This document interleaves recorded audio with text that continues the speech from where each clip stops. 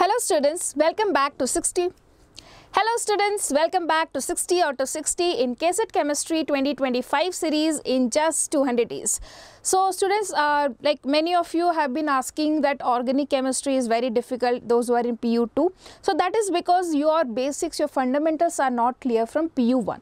So if you are someone like that, then this series is going to be very, very useful, very, very helpful for you because we are going to start today GOC or some basic uh, like basic principles of organic chemistry. Today we are going to discuss that.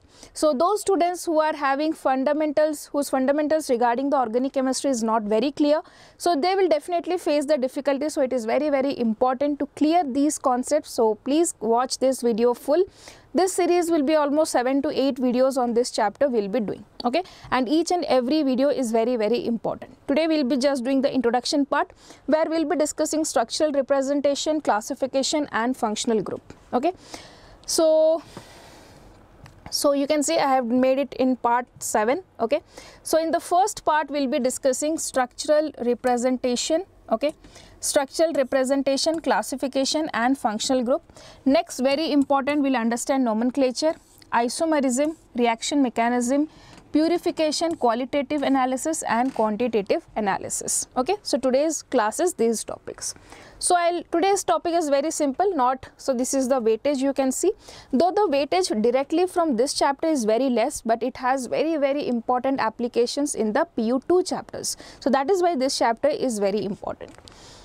Okay so here students I want to tell you about the PU2 success blueprint test series. So as of as a you know your PU2 exams are very very near. So if you want to get 95% and above then this test series will definitely help you. So it is launched by Deeksha which has 12 tests. There are 4 part tests and 8 full length papers and the question papers are designed according to the latest pattern and syllabus and apart from this you will also be getting one shot revision videos, detailed video solutions and doubt clarification classes will also be there right and this all things you can avail at a discounted price of 5 599 rupees only. So students, if you are someone who is expecting or who wants to get 95% or above, please do not miss this opportunity. Go to the description uh, section.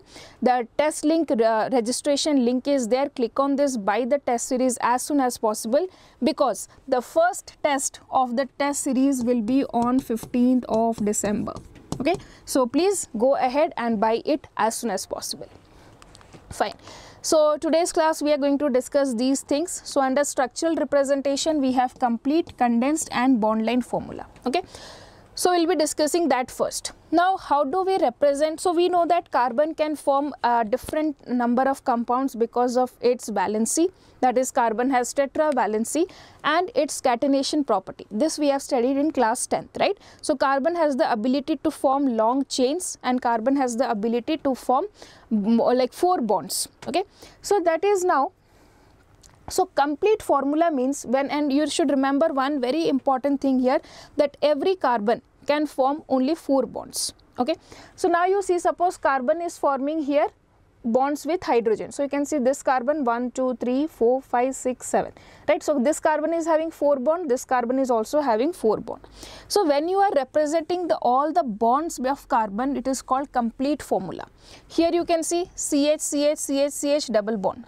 Here you can see C triple bond C H H here you can see this one is there and here you can see when you represent all the bonds that is called complete formula. Now what is condensed formula? Condensed formula means you just represent you do not represent all the bonds okay? Any just you represent carbon carbon bond. This is also a type of condensed formula where we have represent only carbon carbon bond carbon hydrogen bond is not represented. Here we have not represented any bond. We have just written the formula that is also condensed formula. Okay? Now you can see for example ethane we have drawn like this. This is complete formula but if i write c3h and then c3h okay? Ch3 ch3 that is the condensed formula. Next if i write ethene this is ch2 i have shown double bond here and then again ch2 that is ethene. Now if i want to show ethyne you can see ch bond is not shown here. That is condensed formula. Here if you see i have just written ch3oh no bond is shown. That is also condensed formula okay? Now coming to bond line formula. So if you are just writing the bond line only the carbon carbon bond is represented right so you can see like this means carbon carbon bond is represented hydrogens are not represented at all these type of structures are called as bond line formula. So for example here you can see we have carbon carbon bonds shown. So this is a condensed formula but then if you want to convert it into bond line no element should be written that is bond line formula. Similarly here you can see like no element means in the bond line formula there should be no carbon written. Other elements has to be written. Okay carbon and hydrogen is not to be written. Next if you see here it is also like this bond line formula is there and to this carbon chlorine is attached so that is there okay? So now next we have 3d representation of carbon. So carbon has four bonds okay? So these four bonds like two bonds are in one plane. One of the bond is towards you and one of the bond is away from you. So that is how it is represented. This dash line okay? Sorry this wedge line. This is called as bond towards the observer. Means if i am observing from here this bond is like this towards me now dash or wedge bond away from the observer. So if you have dash line, this line, so this bond is going inside the blackboard. Means inside the board this bond is going. It is away from me. And these two bonds are in the plane of the board. Okay? So just imagine like this. This bond is coming out. Okay? And one bond is going inside and two bonds are in the plane. Okay? So that is the 3d representation of carbon compounds. Clear Next, we will talk about classification. So, carbon compounds are classified based on first that is acyclic compounds and cyclic compounds. Acyclic compounds means which does not have any cyclic structure. Cyclic compounds as you all know has some cyclic structure. Now in this cyclic structure that is alicyclic compounds and aromatic compounds.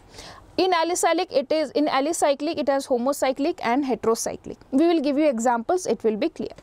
Now in aromatic we have benzenoid, non-benzenoid and heterocyclic aromatic compounds. Okay, let's see the example for that. First one is acyclic means there is no cyclic structure these all are open chain structures you can see there is no ring like formula or ring like structure so that is called acyclic structures. Now under cyclic, the first one was alicyclic and another one was aromatic, right?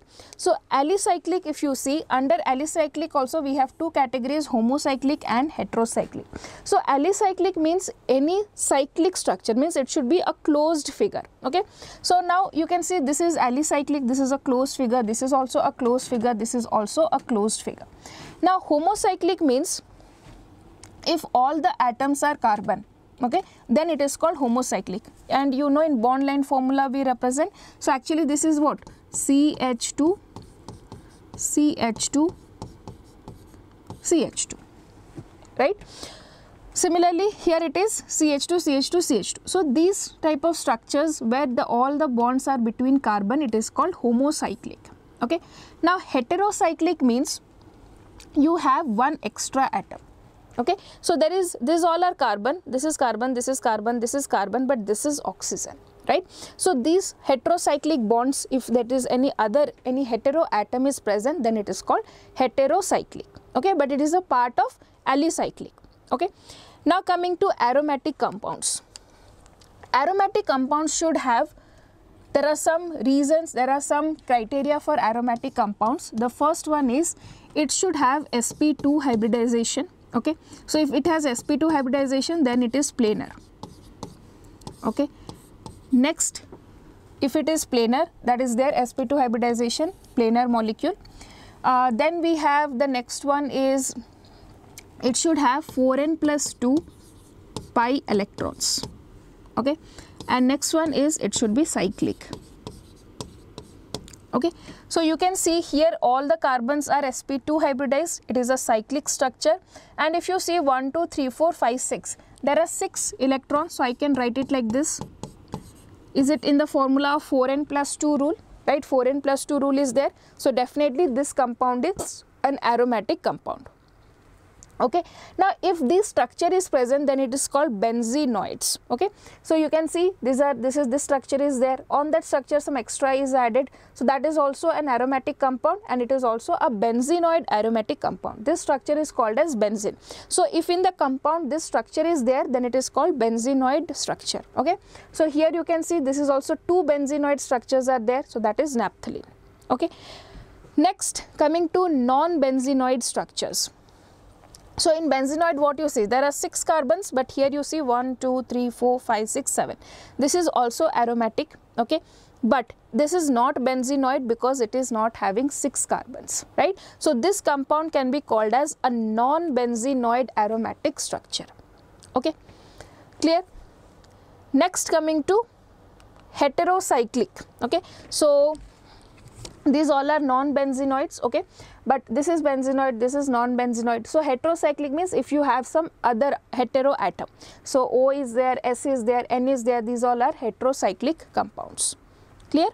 Okay. So structure is clear. Let us revise once again. So we have first is acyclic and cyclic okay? Now in cyclic we have alicyclic okay? And aromatic.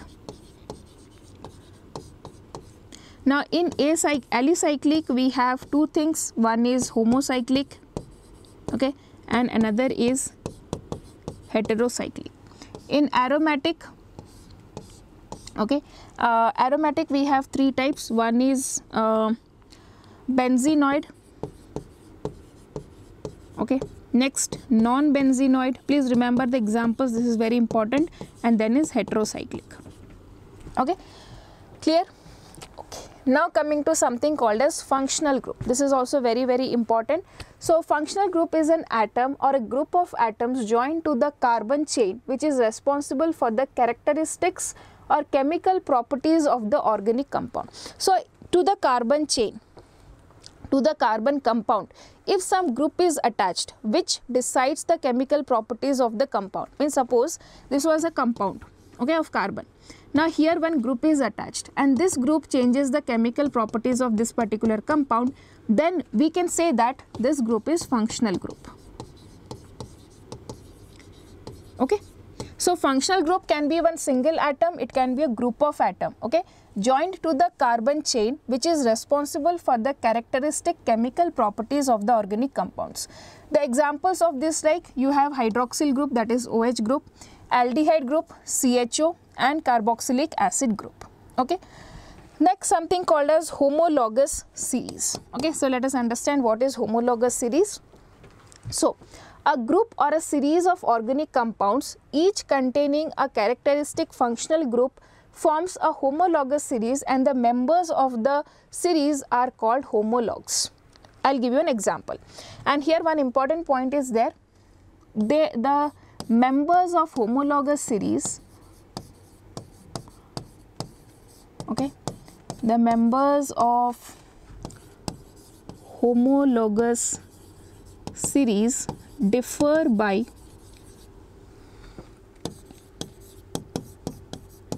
CH2 group.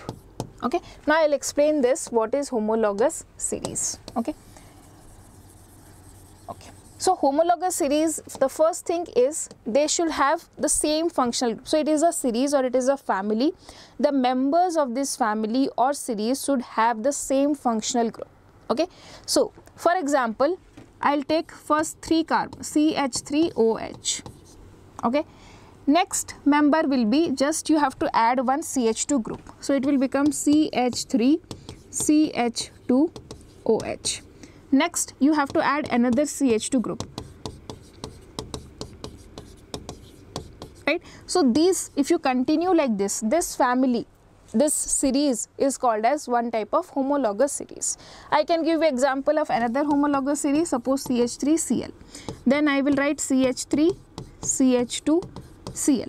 Then CH3, CH2, CH2, Cl. Right? It can continue. So you can see between these two members there's a gap of ch2 between these two there is one gap of ch2 right? So these type of series are called as homologous series and they have similar chemical properties okay? So what is important about them? They have similar chemical properties. Okay? Clear fine. Okay. So students as i already told you the success view to success blueprint test series is there. You can avail it at this price of discounted price of 599 so please if you are interested go to the registration section sorry description section. Link is there. Click on that and buy the test series okay? This will be really really helpful for your preparation okay? Fine so yes students that's all in this lecture. So it was a very small and introduction video for this particular chapter. Next class we are going to practice nomenclature then we'll be doing isomerism. So many many important concepts are going to be discussed in this series. So if you are someone who finds difficult organic chemistry then please please continue watch uh, like continue to watch this series. Your all doubts will be cleared. I can guarantee you that. Okay? So yes students let's get start like see you in the next class. And thank you for watching. Do not forget to subscribe the channel